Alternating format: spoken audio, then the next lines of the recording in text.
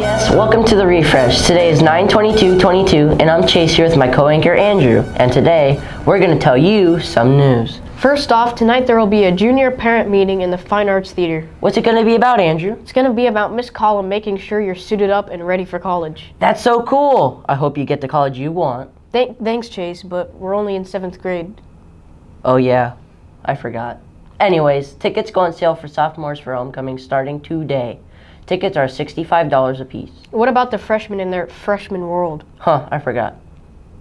Oh yeah, freshmen may begin buying tickets on Monday. Remember you need to turn in your parent signed permission forms. Better hurry up, seniors and juniors, because prices will go up to $75 this Tuesday. Hey Chase, when will we get to go to homecoming? Well, I don't know. Gotta ask somebody with enough brains to figure that one out. Wow, Chase, really? Uh, I don't know.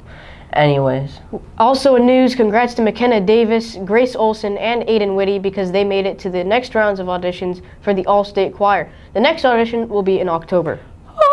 That's enough, Chase. Be quiet now. Inside voices, remember. but it's my choir voice. Okay, Andrew. But anyways, spiritual emphasis week is coming up next week. We will be meeting in the gym on Tuesday, Thursday, and Friday for chapel. Everyone will meet Tuesday, Thursday, and Friday. That's for both high school and middle school. Oh, and did I mention that next Friday we are having a pep rally in the FBA game? No, you didn't. Oh. Well, anyways, I'm telling you now. Okay, Chase. Calm down. Okay, Andrew, but there's one more thing happening today. Well, what is that? Well, today after school there will be a first meeting of the board game club for the 8th grade through 12th graders. So, not us? Another thing we can't go to? Sorry, Andrew. Anyways, it starts today in Ms. Hale's classroom, which is room 236 from 3:25 to 4:30. Where do they go when the club is over? Well, if they can drive, or they can leave, obviously, or their parents can pick them up. Uh, so if I pretend to be an eighth grader and my parents aren't here to pick me up after it's over? Well, then you can go right across the hall to Mr. Alexander's room after care. Do not pretend to be an eighth grader. You won't fool anybody, Andrew. You know it. Well, I won't be able to now, so I guess all that left to do is head off to sports. Thanks, guys. There was only one event yesterday. which was the private eight swim meet. Girls and boys both placed fourth in the 200 yard medley relay. For the girls, Kelsey Moss placed third in the girls' 50 yard freestyle. Julia Kelleher placed fourth in the girls' 100 yard butterfly, and Cece Villarreal placed fourth in the girls' 500 yard freestyle. In the girls' 200 yard freestyle relay, ECS placed second, while in the boys, they placed third in the same event. That's not all. Zach Stubing placed third in the boys' 200 yard freestyle, while James Kelleher placed third in the boys' 50 yard freestyle, followed by Parker, Parker Inkledon, who placed fourth. Well, in upcoming sports, it's all volleyball. Middle school will be going to Canterbury tonight, while high school will be on the road at LaBelle. Middle school B will play at 4 and middle school A will play at 5. Meanwhile, for high school, the JV team is playing at 5 and varsity is playing right after at 6. Moving on from volleyball, there's a private eight meet at golf. Where will it be? Well, there will be a meeting at, Cor- at Old Corkscrew Country Club, Club in Estero.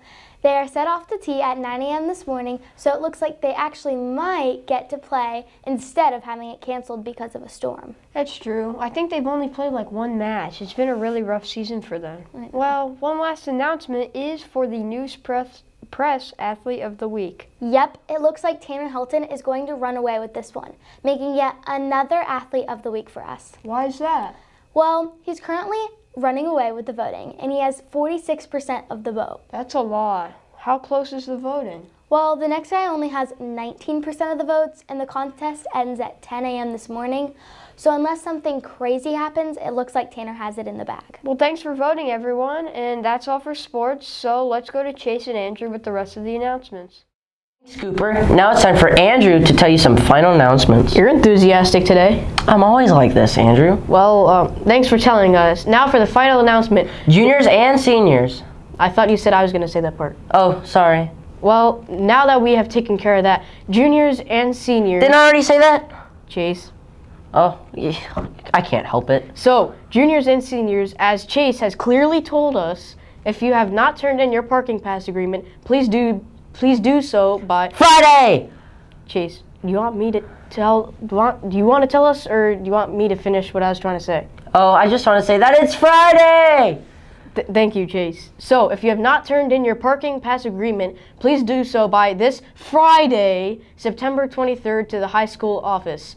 Y- Your fax will be billed the $20 in October, and remember that you must display your student parking pass hang tag on your rear view mirror whenever you are parking on campus. That's all. That's all for today. See you later, Sen.